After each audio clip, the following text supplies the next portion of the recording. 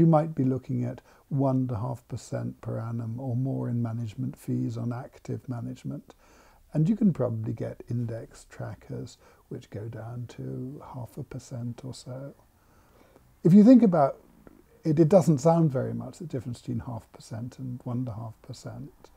But if you're talking about an investment strategy lasting over uh, 20 years, it really does mean that 1% difference, roughly speaking, that over 20 years, you'll have 20% less money in your portfolio and the uh, fund manager will have 20% more of your money sitting in his bank account because of those extra fees.